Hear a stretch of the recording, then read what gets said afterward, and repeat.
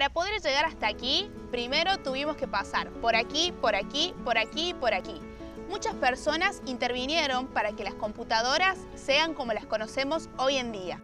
Alan Turing presentó la idea de la máquina universal. Constaba de una cinta dividida en celdas en las que se podía leer y escribir. También tenía un cabezal capaz de mover la cinta y que pueda leer y escribir símbolos y un sistema básico que diga a este cabezal qué hacer. Las máquinas universales capturan la noción informal de un método eficaz y proporcionan una definición específica de un algoritmo. Es el principio en el que se basan las computadoras actuales. La cinta es la memoria RAM y el cabezal es el microprocesador. Alan Turing, padre de la informática actual, fue condenado por su orientación sexual. Se suicidó al comer una manzana envenenada y Steve Jobs lo homenajeó con el logo de Apple.